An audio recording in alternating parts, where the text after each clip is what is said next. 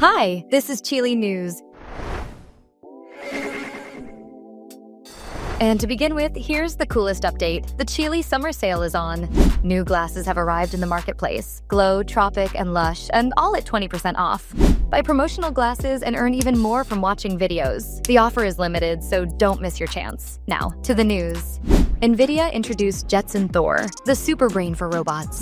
The new chip is 7.5 times more powerful than previous versions, supports multiple AI models at once, and is already being tested by Amazon Robotics, Meta, and even OpenAI. The UK Ministry of Defence has deployed artificial intelligence to counter data leaks.